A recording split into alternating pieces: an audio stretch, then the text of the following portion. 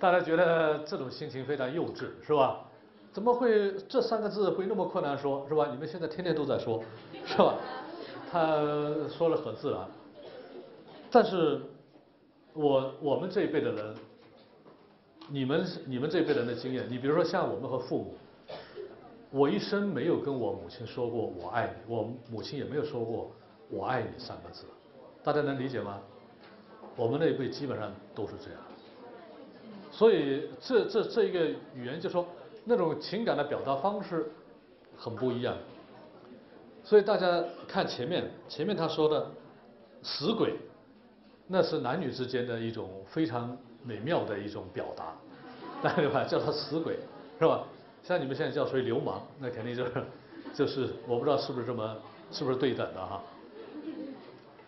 哎，他是以这样一种方式，当然肯定这个这两个意思肯定是不能对的，因为“死鬼”他是带着农村的那种劳动的那种朴实的。啊，那种女孩子对男青年的一种特殊的一种表达方式。但是呢，确实，你你们现在读这个诗觉得非常奇怪，这不自虐嘛，是吧？那三个字怎么那么难难表达？结果错过了人生的多么美好的幸福，是不是？但是反过来说，那个年代，你像比如说我们这一辈人，回忆起来就有很多很多这种错误，就我们的一生。的情感生活基本上是由错过来构成的，但是你们现在也有另一种东西，你们觉得我们很倒霉是吧？很傻瓜，错过了，失去了很多的东西。你看你们没有错过，但是呢，你们有痛苦吗？有没有痛苦？没有痛苦，啊，也有啊。你们还觉得有痛苦，是吧？我年轻的时候也是最喜欢满富罗的一首诗，他说：“我所得到与我所失去。”我所到达与我所错过，简直没有什么可自豪。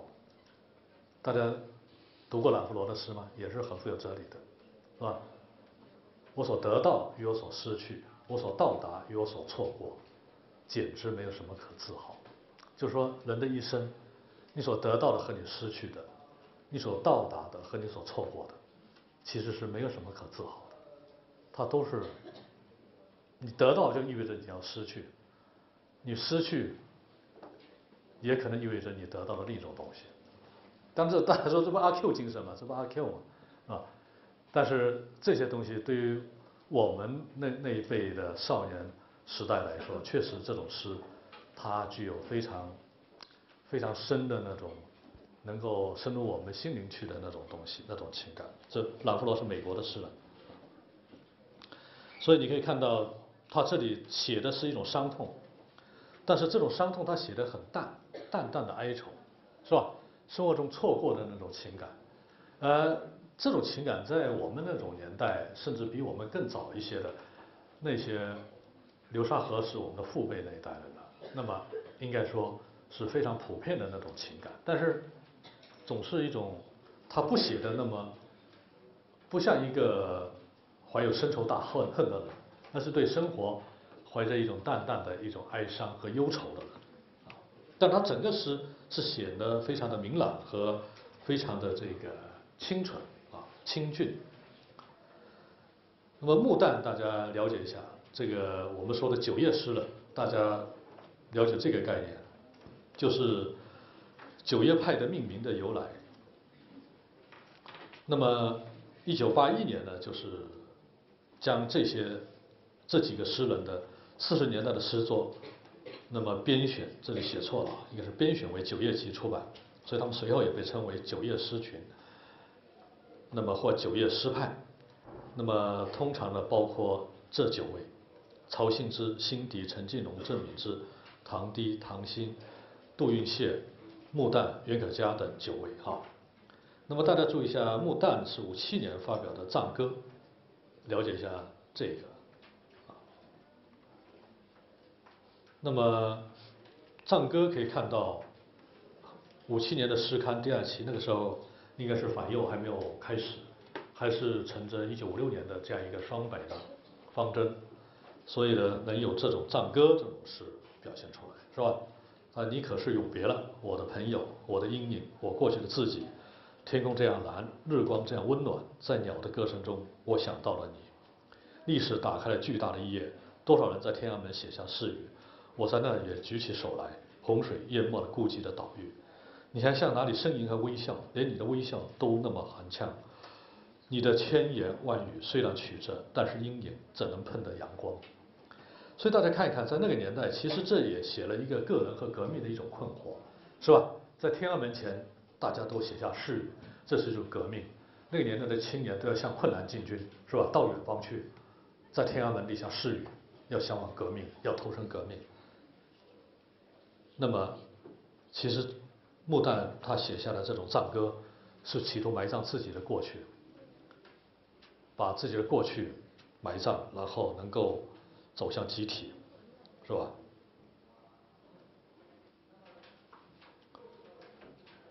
他的诗的结尾说：“就这样，像只鸟飞出长长的阴阴暗的甬道，我飞出会见阳光和你们，亲爱的读者。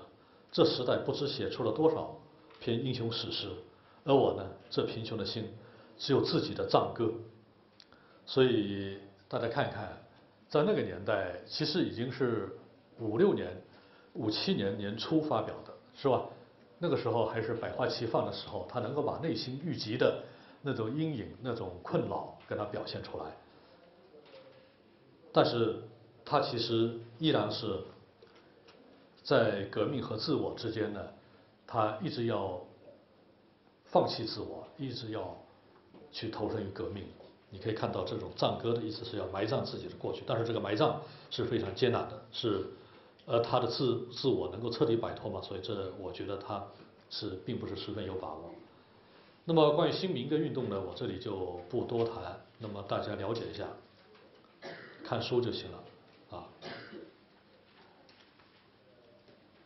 那是一个非常夸张的一种一种夸张的文学运动，但是呢，另一方面我我们也可以看一看，就社会主义文化它所具有的这种人民性和群众性，在民歌运动那里是达到了一种高潮，啊，那么文化大革命期间呢，还有小金庄的这个赛诗会，其实文化大革命也是一个艺术的海洋，就是革命和艺术的这样一种结合，那么新民歌运动呢，应该说是开启了。它最初的那种方式，所以社会主义革命在很大程度上，它是一个文化的革命，它必须要通过文化来革命，通过文化来革命呢，它才会有一种实际的这样一个现实的这种实践来展开。所以大家要理解这一点，就为什么毛毛泽东还有他们这么关心革命文艺呢？社会主义革命作为一项事业，它是一项在文化上，它。是一项开创，它要建构一种新的一种文化，就说这样一项政治的一种事业，它要依赖文化，它通过文化想象来给它建立一种合法性和合理性的基础。就是说，它合理性的逻辑已经无法从历史上来找到一种论证了，是吧？它是要炸碎千百年来的剥削制度、私有制，那么它这一切必须通过文化来给予想象。你看，在苏联，斯斯大林他也很关心文艺，是吧？他跟高尔基搞得很近，但是他也非常非常这样一个激烈的迫害了很多的知识分子。好，关于这个我就谈到这里。我们接下去呢，可以谈文化大革命啊，文革时期的文革时期的文学啊。呃，这这个课件是马珍做的，当然下了很大的功夫，给大家找了很多的图片。呃，在座的可能对文化大革命都都没有什么记忆哈，有吗？哦，对，不是，呃，就是说听说过是吧？但是没有什么认识，可能比较比较这个模糊。那么当然也不是我今天在这里就这么个把钟头能讲清楚的。但是呢，呃，先想，我想这个问题可能得先要给大家一些感性认识，而这个感性，我给大家提示的，可能是很，可能是很矛盾的现现象，很矛盾，啊，很矛盾的现象。当然，在我们这个党的文件当中，文化大革命已经是被批判为是极左路线，是吧？同时呢，这个在我们的历史的叙事中，文化大革命也是是一场被叙被叙为一场灾难。那么，在很多这个老干部啊，或者他们的经验经历当中，他们的回忆录当中，包括老知识分子的回忆当中，牛棚札记啊，干校是吧？呃，干校六记，那么等等，在这些。里边也都巴金的《随想录》等等，那文革都是令人不寒而栗的，充满了一种疯狂和迫害。那么在知青一代的作家那里的文革，也有像孔杰生的在小河那边，那么那种表现。但是呢，对文革的叙述，在不同的更年轻一些的像王朔的这个《阳光灿烂的日子》，是吧？它又变成另一种东西。所以这个，但是整体上来说，对文革大家。都是会把它看成一个非常负面的，是中华民族历经的一场灾难，是一个人性恶的一种表现。在我们的官方的可能有关的一种文件当中，可能是文革迄今为止还是一个禁区，不能直接去表现的。呃，但是也不断的总是有小说写到那一段，所以我也不知道这个尺度在什么地方。那么至于电影，好像是通常是不能够表现。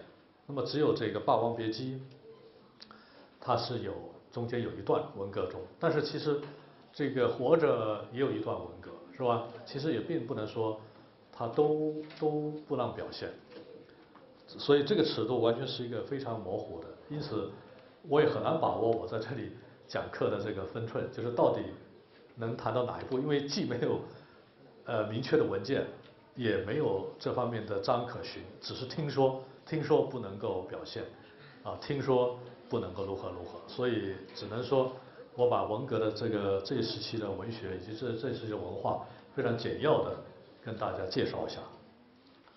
所以那个时候千秋功罪我们评说，这是马珍给我们这课件做的这个第一第一面哈，我觉得这个是那个年代红卫兵他们这个要重新就是叫做舍得一身一身剐，敢把。皇帝拉下马，就革命无罪，造反有理。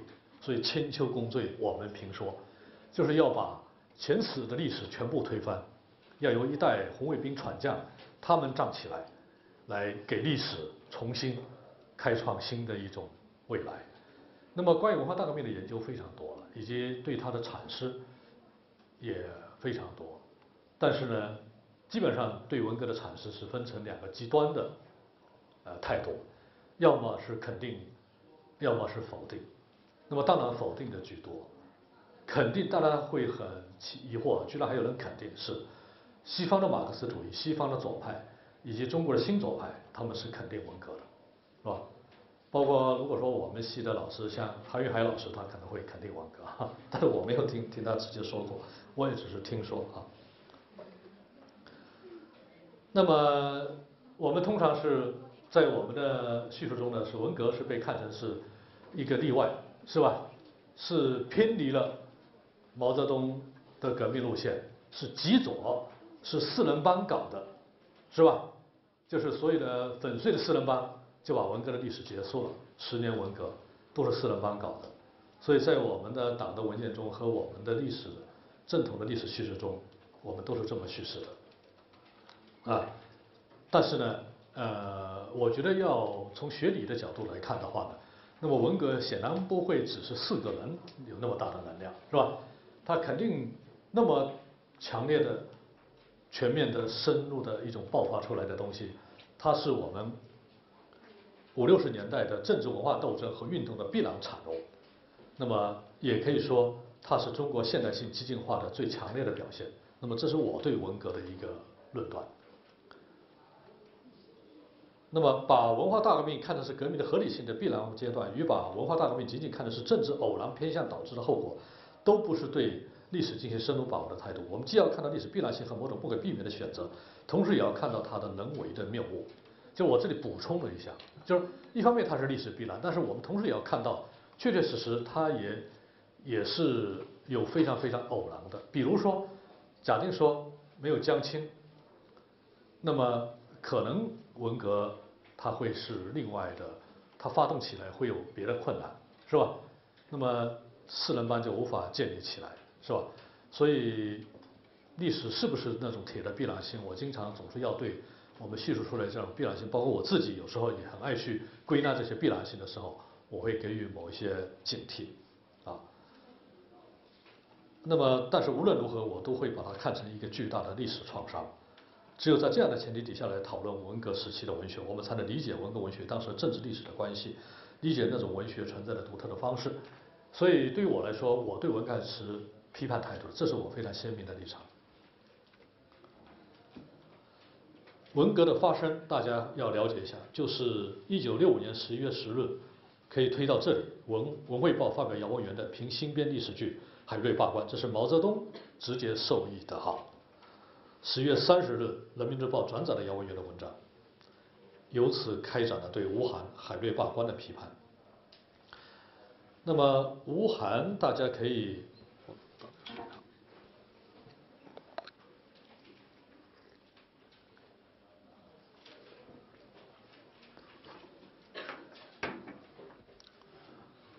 这个吴晗呢，吴晗是。呃，清华，清华的这个历史系毕业的，啊，毕业一直在历史系，曾在历史系任教。那么，其实呢，说起来，吴晗是我我党的老前辈。那么，大家看一看那个建国大业，就可以看到，这个我党名门当时和中国中共风雨同舟，是吧？我党和贵党风雨同舟，是吧？这个对蒋介石这个。但是那个张澜呢？张澜叫是表老啊，他就是我们名门现任的常务副主席张美颖的爷爷，啊，张美颖的爷爷，啊，所以张澜啊，张表老啊，表老啊，他地位非常高。所以那个时候，我们这个名门是拥护共产党，为建国大业呢也立下了不朽的功勋。这是我们党的老前辈，像这个吴晗呢，都是我们党的老前辈啊。呃，当然，他后来因为写了这个海瑞罢官，那么被批判，那么六九年呢是含冤致死，那么他的妻子也也迫害致死，他的女儿也是七六年在狱中自杀身亡，那么七九年才平反，但是有吴晗、邓拓、廖沫沙，是吧？这称为三家村，所以他们都是在文革中。遭受到迫害，这是吴晗的照片，他是历史学家，是吧？那么现在大家津津乐道的就是他考清华，那么数学考了零分，啊，当然是一个非常非常卓越的历史学家。